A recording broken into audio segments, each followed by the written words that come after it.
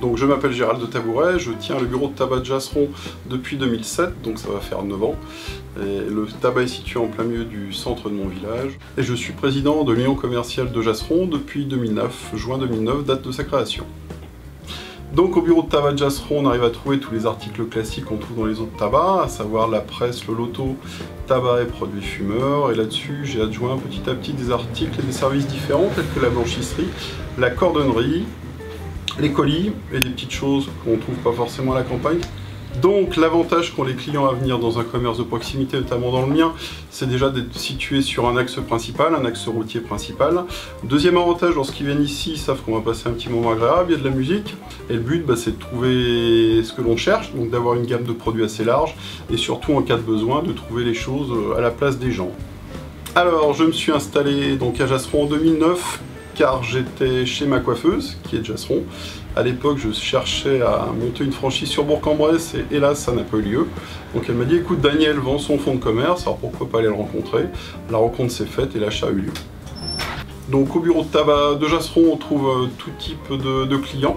Les clients sont aussi variés que les articles que l'on trouve chez moi, à savoir des jeunes, des anciens, des papis, des mamies, un petit peu de tout. Petite spécialité du magasin, j'ai 70% de ma clientèle qui sont des femmes, sans doute dû à mon physique avantageux. L'association l'UACAGE, donc l'Union amicale commerciale et artisanale de Jasseron, a été créée en 2009. À l'époque, nous étions 8. L'idée était de se regrouper. Moi qui étais commercial, j'avais l'habitude de travailler avec une équipe de, collègues. Et ici, ben, en tant que commerçant, on est tous un petit peu isolés dans son coin. Donc le fait de se mettre tous ensemble, je trouvais ça sympa, organiser des choses. C'est tellement plus simple de le faire à plusieurs. Donc au départ, nous étions 8 et 7 ans après, nous sommes 31. Alors il y a une particularité aussi dans le magasin, c'est ce que j'évoquais tout à l'heure, c'est le dicton du jour. ça, ça peut paraître un petit peu idiot, à savoir que les gens maintenant attendent, dans ma vitrine, j'ai une surface spéciale qui est faite pour mon, pour mon tableau Véleda, et tous les jours il y a un dicton. Et l'histoire du dicton, c'est qu'au départ, j'avais annoncé euh, un mauvais temps sur Jasseron, euh, un petit peu comme en Bretagne, et derrière on a eu un énorme... Euh, on a eu d'énormes inondations. Donc les gens m'ont dit, bah écoute, c'est bien ton dicton, mais ça a un petit peu fait parler, ça a un petit peu porté mauvais augure.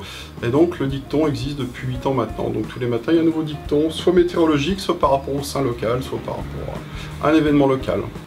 Et un gros avantage qu'on a sur Jasseron, bien sûr, c'est que devant l'école, nous avons une arène Pokémon, et que devant la boulangerie, on a un truc encore super bien Pokémon, je sais pas ce que c'est, mais tout le monde vient. Donc venez à Jasseron, vous serez absolument pas déçus, par les commerçants et par les Pokémon.